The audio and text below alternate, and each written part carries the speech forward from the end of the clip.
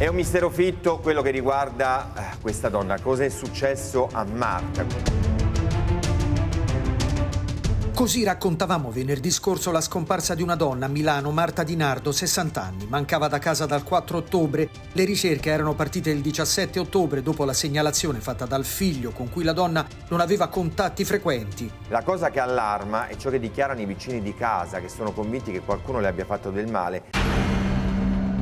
Mentre seguiamo in diretta gli sviluppi delle indagini, gli inquirenti si recano nel condominio dove vive Marta al quarto piano per cercare indizi e conferme. Ci sono i sopralluoghi dei carabinieri ma anche la sezione scientifica sono arrivati qua verso l'una e mezza questa mattina, poi sono arrivati anche i vigili del fuoco che se ne sono andati. A casa di Marta i carabinieri trovano un certificato medico intestato ad un uomo, Domenico Levrieri. Così scoprono che Marta aveva cominciato a frequentare dal mese di settembre un vicino che abita nella stessa palazzina. Perché un suo certificato medico si trova in casa della donna? Si scopre allora che l'uomo ha una copia delle chiavi dell'appartamento di Marta e sarebbe stato visto entrare e uscire da quella casa diverse volte. Perché lui già ha questa chiave da Marta.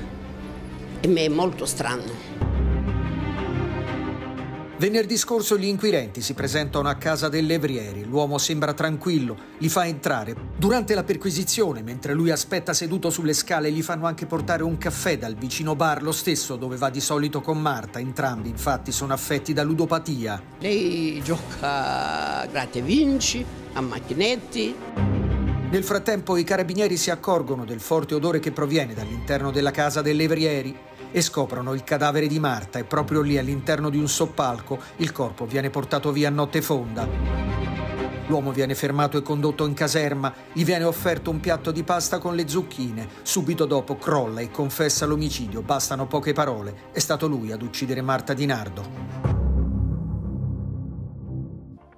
Non volevo ucciderla, mi dispiace. Sono le poche parole con le quali Domenico Livrieri, il 46enne fermato per l'omicidio di Marta Di Nardo, ha sostanzialmente ammesso di essere stato lui ad uccidere la vicina.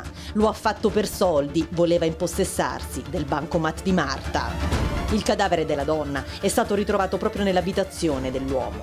Tutto sarebbe successo tra il 4 e il 5 ottobre. Livrieri ha ammesso di averla uccisa colpendola con una coltellata al collo e di avere tagliato in due il corpo all'altezza della vita con un coltello da cucina per poi avvolgerlo in una coperta e nasconderlo nel proprio appartamento in un soppalco. Il 46enne ha tentato anche di fuggire. Il giorno prima della denuncia di scomparsa del figlio di Marta, Domenico Livrieri, infatti, è andato all'aeroporto di Malpensa a bordo di un taxi.